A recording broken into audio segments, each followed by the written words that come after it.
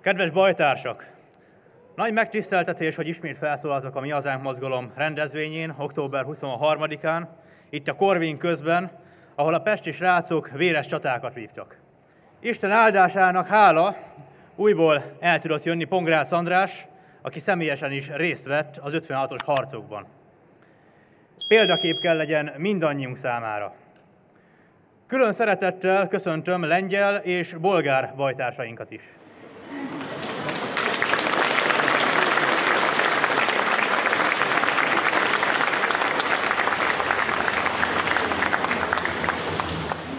Ma a politikáról, mint szemfényvesztésről szeretnék beszélni. A politika kényes műfaj. Mindig az volt. Olvasni kell a sorok között, és nagyítóval keresni az igazságot. Miután a Vörös Hadsereg megszállta Magyarországot, és kiépült a Rákosi rendszer besúgóhálózata, senki nem tudta, kiben bízhat, és kiben nem.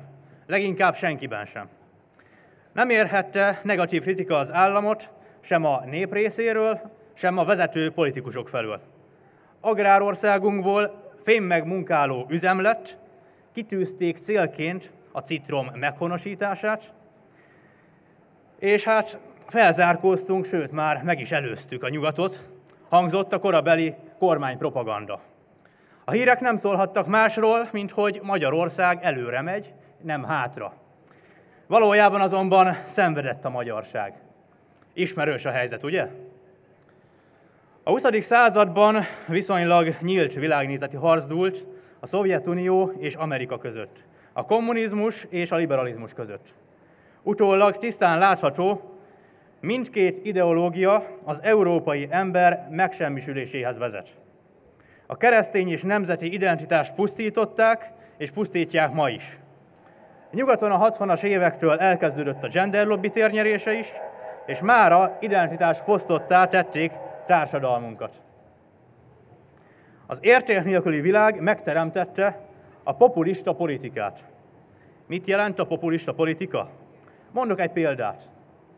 A 90-es években még liberális politikát folytatott a Fidesz, majd mikor a helyzet úgy kívánta, 20-30 év múlva konzervatív politikát hirdet.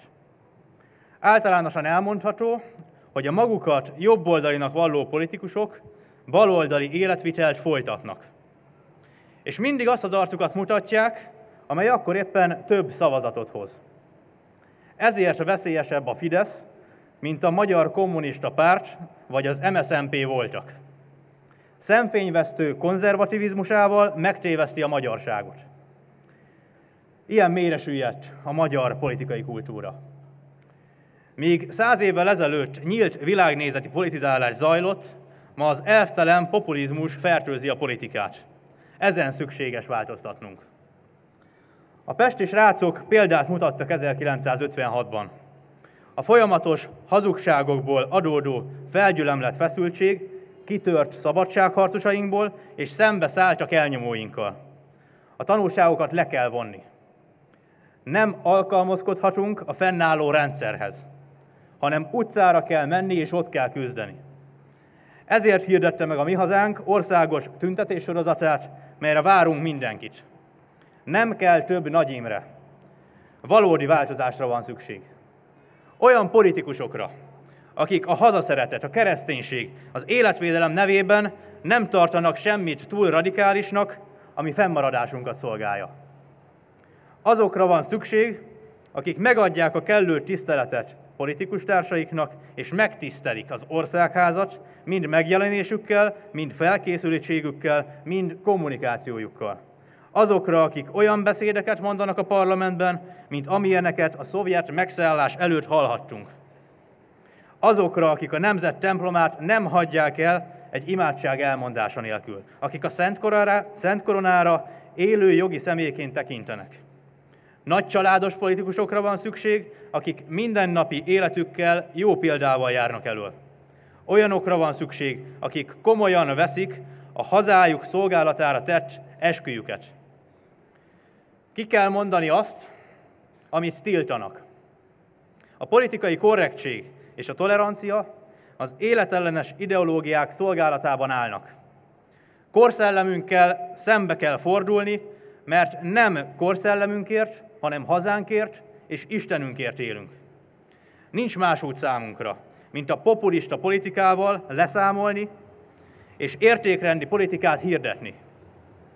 Őszintén és egyenesen képviselni azt, amit megélünk mindennapjainkban. Magyarország a magyaroké, és senki nem szólhat bele országunk működésébe. Sem egy Szovjetunió, sem az Európai Unió és Amerika sem. Új magaslatokra helyezzük missziónkat, a politikát alapjaiban fogjuk megváltoztatni. Egyedül így van értelme küzdelmünknek. Élni, győzni akarunk, és okvetlenül fogunk. Köszönöm a figyelmet!